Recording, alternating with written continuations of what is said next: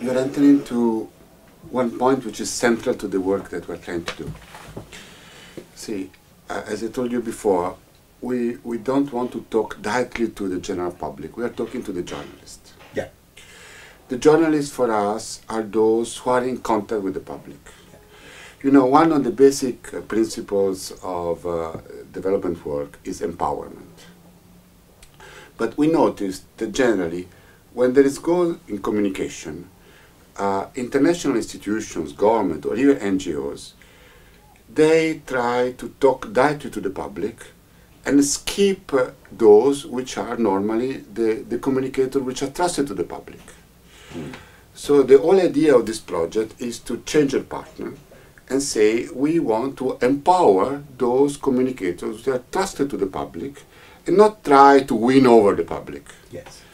And we don't want to win over the journalists. We just want to empower them to talk about what is being done Yeah. because we want, we want them to evaluate. Yeah. And we want their role to be a fundamental role in the dialogue with the public. Yeah.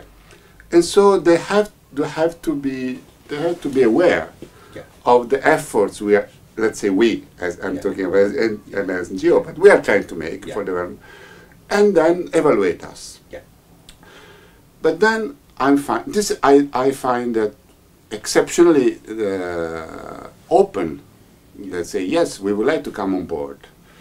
What I find that somehow is missing is the knowledge, the preparation of the average uh, newsmakers Yes. about dealing with these issues. Yes.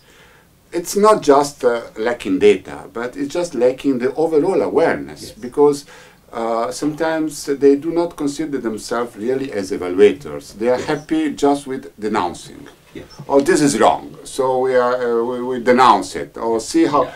but then they don't, uh, um, they don't they, they, uh, denounce it to whom?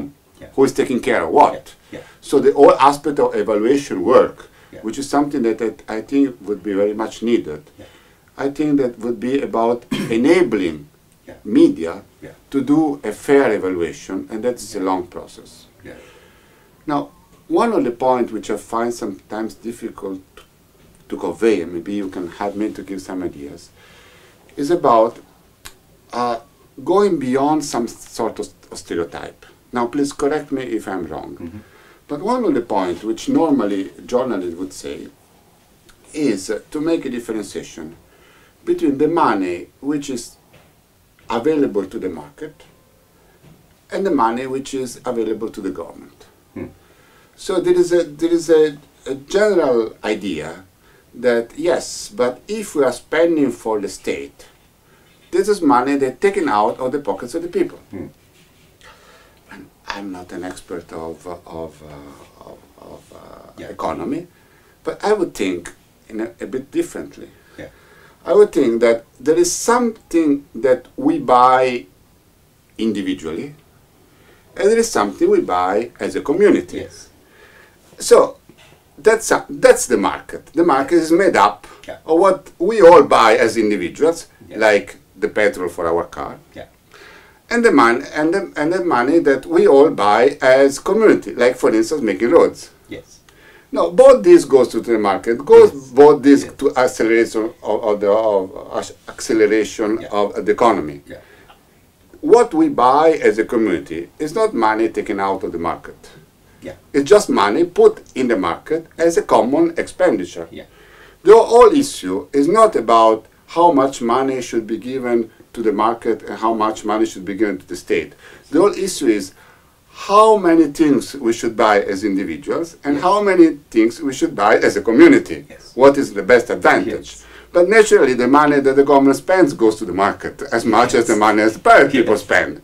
So uh, now, well, this is, uh, I don't find that uh, it's, it's easy to explain because it's so much. Uh, for instance, in it, in Italy, uh, a lot of uh, uh, government, uh, the present government advertising is that, oh, we are spent. mm, It's uh, so far, people are being taxed. Uh, uh, let's say forty-five percent of uh, of their earning, and that is all money that is not given for development of the economy. Yeah.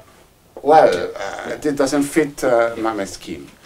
So, am I wrong in thinking that uh, the differentiation has not to be made about money available to the state and money available to, to the public, but about this different kind of differentiation?